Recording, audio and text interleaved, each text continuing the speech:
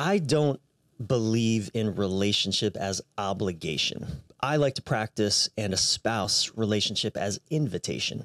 So, obligation versus invitation. I think where we start to really come off the tracks in our relationship experiences is we start to approach them as though we are obligated. Our partners obligate us, we obligate ourselves, we obligate them. I mean, it just becomes a big obligatory process. And who the fuck wants to be a part of that? It's living in the have to story of living, and that's miserable. That's not a fun place to be. It's not an enjoyable place to be. And there's no agency in that. I'm with my wife for seven years, and I choose to be in that relationship. I didn't just choose seven years ago, or I didn't choose the day we got married and then, okay now I'm obligated. Uh uh-uh. uh I chose and I keep choosing. We're very different people, but neither of us are obligated to stay. Neither of us live in the story of you have to XYZ or else. I want to be a man who lives with agency and who lives in my power. And so long as I am choosing to be in this relationship, I'm choosing to be in this relationship. I'm not obligated. And if my wife obligates me, that becomes a deal breaker for me. I don't want to feel obligated either. Now,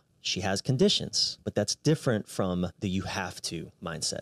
Choose Her Every Day or Leave Her, now available as an audiobook too. A book for men and women, available online everywhere.